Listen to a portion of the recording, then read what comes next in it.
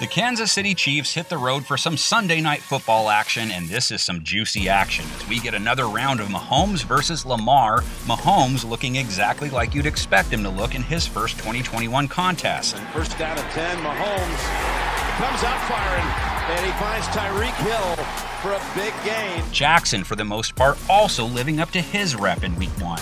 Fake. Lamar wants to throw for it. Now it'll scramble out of trouble. Why go north south when you go east west? If Jackson wants to get on the board in this budding rivalry, it very well could be his legs along with others that get the job done. Lamar didn't end up running 20 times just because they were missing all those backs, but when he took off, he made the Raiders D pay.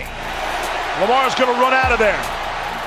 Able to stay on his feet across midfield, across the 40. And the thing was, Ty'Son Williams did an admirable job stepping into the starting role. Gives the ball to Williams right through the middle. Forget about the first down. How about a touchdown? And Latavius Murray should have time to actually acclimate to his new digs. It's Murray. Murray just signed on Friday into the end zone for a touchdown. Baltimore's offensive strength still appears to be KC's weakness, too. The Browns gashed them for almost six yards a run, playing a major role in keeping Cleveland in the game. As Chubb has all kinds of room, and he can walk right into the end zone for the touchdown.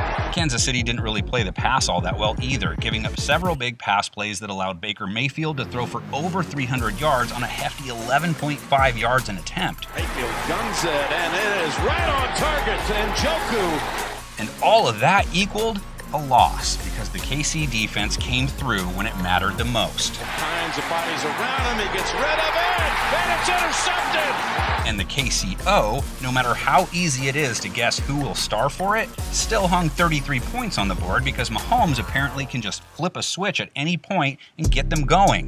Over 330 yards passing, 3 TDs, a rating over 130. Being chased as he heaves it, and he crosses the goal line for a one-play strike from 75 yards. He locked in on the usual suspects too, and neither of them had to fake a limp to get open. Quick throw, Kelce, Kelce, not stopping him. On the run, wide open again is Hill, getting lost in the secondary. Now, stack that attack up against Baltimore's secondary, which is coming off a game where they surrendered over 400 yards through the air to Derek Carr. Drake picked up the pressure. All alone is Zay Jones, and he will prance into the end zone. And even though they knew who Carr was throwing to half the time, Darren Waller still came up big late in the game and finished with 10 catches and 100 yards. You know Kelce took notice of that. Second and goal just outside the 10.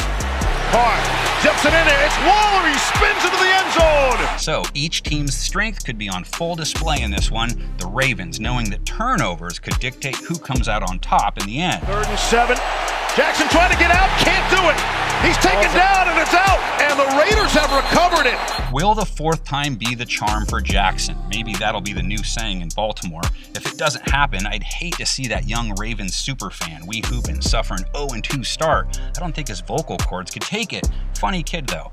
Maybe he'll show up in the comments section with his prediction, which will surely end with Ravens on top, but I'm guessing there will be plenty of predictions with Chiefs on top in there too. Let's now see who most of our panel is picking to come out on top in the top game of the week.